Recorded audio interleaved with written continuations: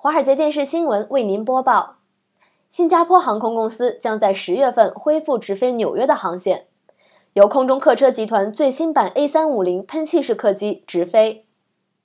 根据该公司声明，自十月十八日起恢复直飞纽瓦克自由国际机场的每日航班，全程耗时十八个小时四十五分钟。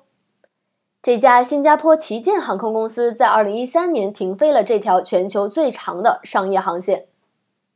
卡塔尔航空目前经营着全球最长直飞航线，由奥克兰至多哈。波音公司 777-200LR 喷气飞机直飞，全程十八小时二十分钟。新加坡航空的这条航线将使用 A350-900ULR 超远程飞机，机上设置商务舱和高端经济舱。该公司已向空客订购了七架该款飞机。也是首家订购这一版本飞机的航空公司。此前，新加坡航空为这条航线配置 A340-500 全商务舱飞机，客座数一百个。